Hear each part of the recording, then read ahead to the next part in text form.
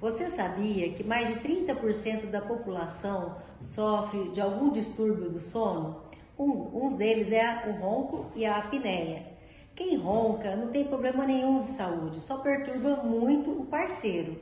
Porém, quem tem apneia pode ter problemas graves, sistêmicos, como problemas cardiovasculares, pressão alta, diabetes, tem um dia horrível porque não dorme bem porque durante a noite a pessoa tem micro despertares por conta do, do, do colapso da, das vias aéreas superiores.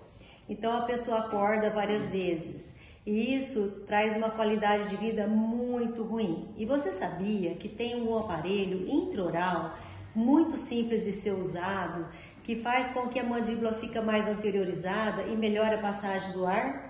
Então, esse tipo de aparelho serve para pessoas que têm apneia de leve a moderada. Eu sou Carla Mauad, do Centro Lira Odontologia Especializada.